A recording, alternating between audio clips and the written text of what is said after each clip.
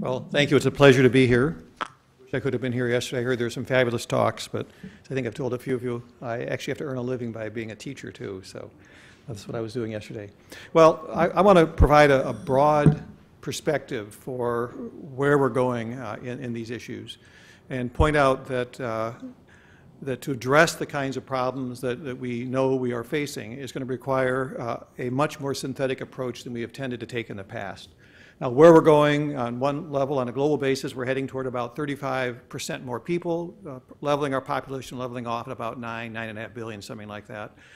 Uh, what's more important in terms of some of the future forces on the environment is that per capita incomes around the world are growing, and they're growing especially rapidly in the poor nations of the world, which means the buying power of those uh, people is going up, and that's expected on a global average to be 140% bigger by the year 2050. So the buying power is going up quite rapidly.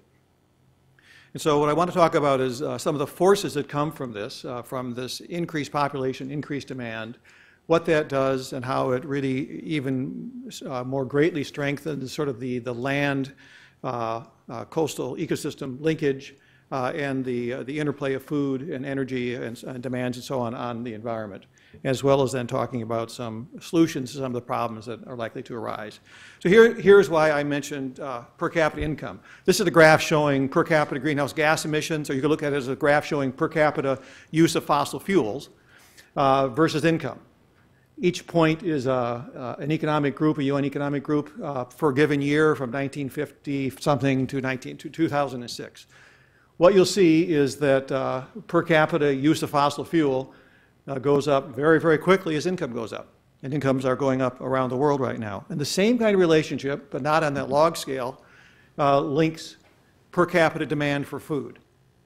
This shows kilocalories of crop uh, produced uh, per citizen per day uh, in various nations. Uh, and this is dividing the, all of the nations, the 100 largest nations of the world, into groups of 15, from A being the 15 richest nations down to G being the 15 poorest in, uh, in that group.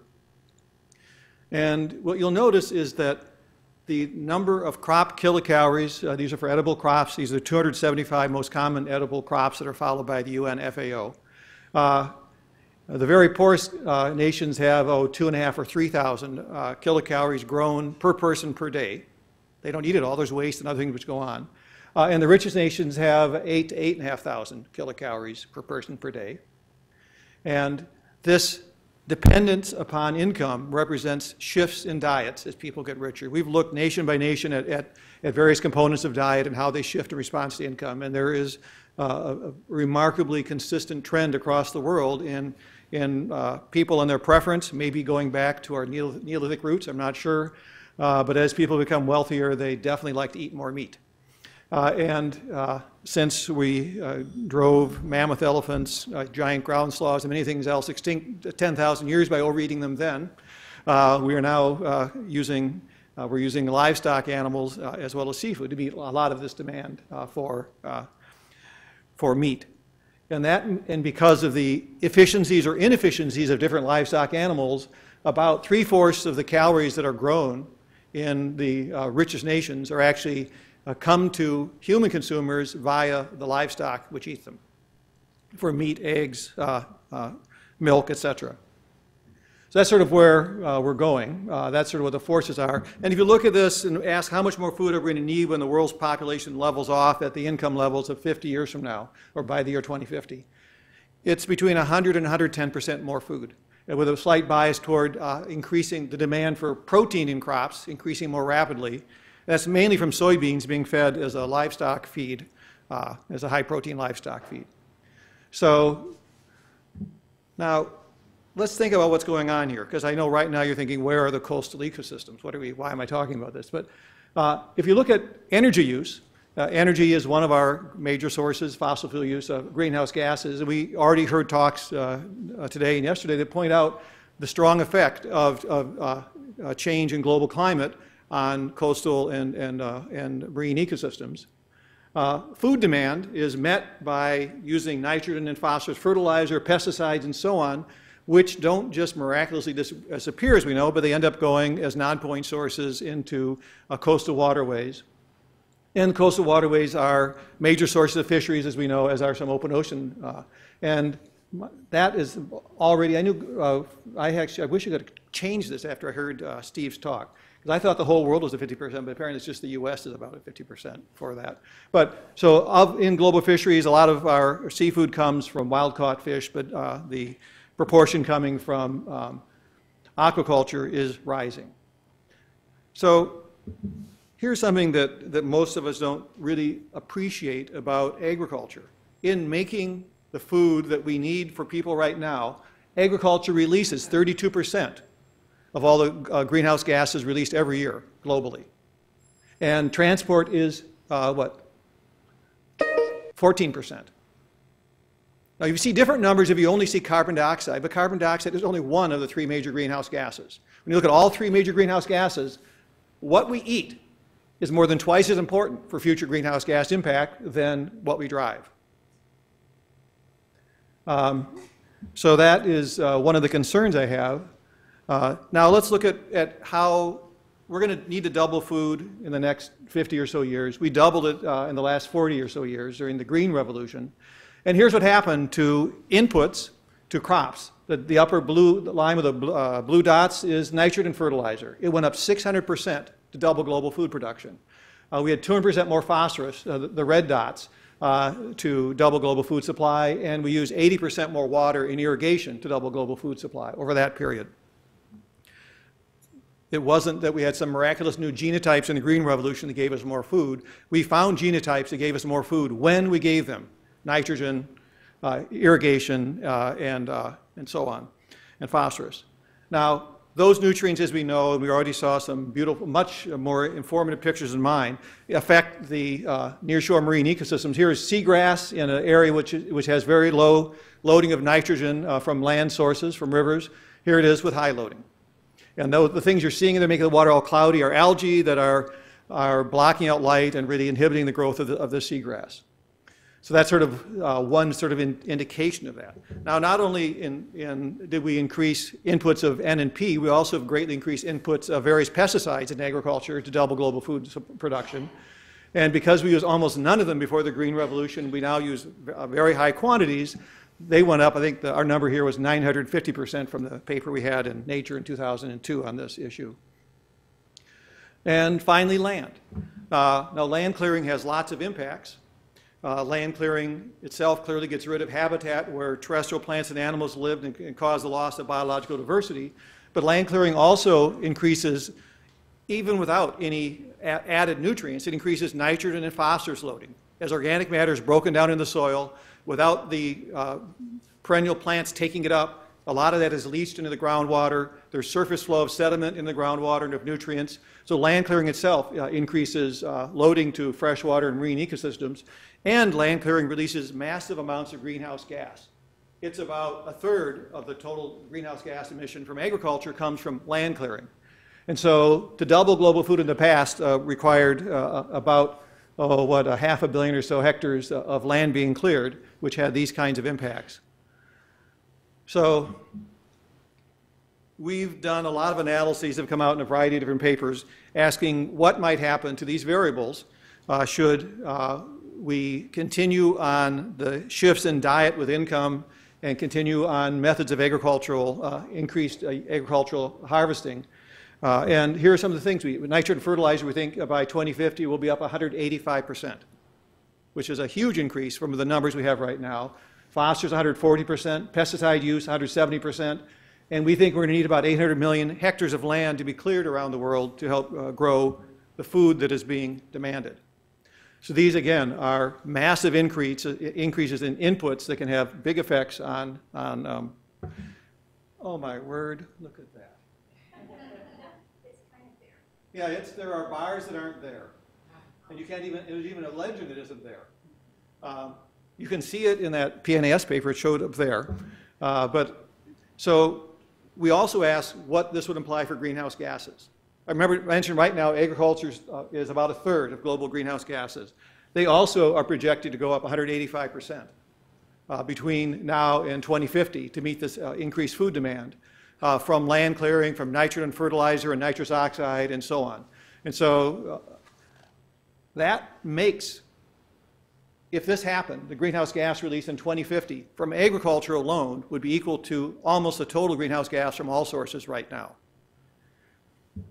So that's sort of the, the problems. Um, and to a great extent, what crops we grow on land um, and how those crops are grown have a huge influence on what happens to the coastal waterways and nearshore marine uh, ecosystems and the services they might be able to provide to society. And the point I want to make is the big variable in this is maybe we already know, and I don't want to say the obvious, is that meat is a major multiplier of these effects because of how much grain it takes to produce uh, a kilogram of different kinds of, of livestock meat. This is a painting that's in a museum in Minneapolis that's a, about the size of this wall of chickens and chicken coops. And I just sort of, I just love it, what it says. But if you think about livestock production, there are clearly many issues, disease, uh, manure and its proper use, the efficiency of them, grain use, and so on. I want to just look at a few numbers here. So this shows for um, uh, confined animal feeding operation, cattle, pigs, poultry, for fish aquaculture, um, and for milk. And that 8.0 on my slide was over here. Looking under fish aquaculture.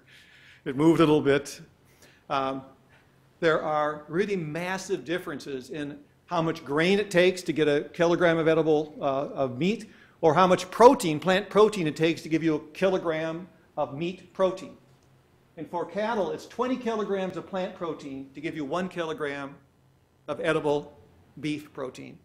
Uh, the best thing on the list as far as, as, as um, sort of meat things is fish aquaculture. The numbers for fish aquaculture clearly depend on what you're growing, but they're around 3 to 4. 3.3 is, is a mean of the ones I found. So much more efficient at turning uh, grains, if you will, into fish but only for cases where they're eating grain and not eating other fish. Uh, I, I, would have to warn or, or, or, or, remind you. But poultry is clearly much better than beef and so on. So you can take these numbers and play lots of games from the slides I just showed you. And I'm not going to go through all these with you, but I think you can, you can easily envision what I'm getting at. You can ask, uh, what would happen to the nitrogen, the phosphorus um, impacts of a diet if the diets, if the uh, amount of beef in a diet in the nation were to fall by 10% or 20% or 50%? or if the beef were to be replaced by aquaculture fish, or even better, if we had it, which we probably won't, wild caught fish, or poultry for, for pork, and so on. Any of those substitutions really change um, these ratios here. I'm, I'm, glad you had that problem, not me. That always things that that kind of thing always happens, but it's my computer, um, or my schedule pops up. Luckily, I lead a pretty calm life. It was almost never that embarrassing. Um, unlike some generals. Um, so, but anyway, if you look at, at, at, these numbers, I think you can, you can easily imagine, you could hypothesize, you could look at the current uh, proportions of these sorts of animal protein in diet and ask what would happen if the animal protein consumption were the same and you change the ratios. I've done lots of these and you can see massive decreases in greenhouse gas emissions because of it, uh, big decreases in nitrogen loading and so on that are very possible. Um, and the other thing about the numbers I showed you, which isn't obvious until you just think about them for a second, is this. Everything you feed to some animal that you're growing for its meat that doesn't end up in its flesh ends up as waste. And those wastes then have to be treated, cared for, or, or, or not treated and cared for and end up entering the environment in one way or another. And if you compare things, let's say, to fish, which is the most efficient of all these animal proteins that we've seen, fish aquaculture, uh, if you look at the nitrogen in compared to the nitrogen out, if the nitrogen comes out in protein, everything that does come out as protein comes out as waste nitrogen. So it's 19 to 1 for cattle. 19 kilograms of waste nitrogen for every kilogram of N in protein in edible beef. Uh, 2 to 1 for fish. So compared to eating a fish diet uh, by growing cattle, there's 850% more N coming out as waste. So some of that waste will be fertilizer, can be used wisely. Often fertilizer isn't used very wisely, as we all know. But these are sort of the forces that come out of different diets. So again, you could ask, what about nitrogen loading into the environment? And what does it depend on? Well, it depends on what crops you grow. It also depends on what livestock you grow. And those two together can be vastly different effects uh, depending upon how efficient uh, the livestock that we eat are. Now, that's one way. So changing diet is one way to change uh, the uh, the loading that we have of nitrogen, phosphorus, and so on, um, and, and having efficiencies in that direction. There's another well-known efficiency in agriculture which is, which is not used very much, and that has to do with uh, applying the appropriate amount of a fertilizer at a, the appropriate time uh, during the growing season to a crop.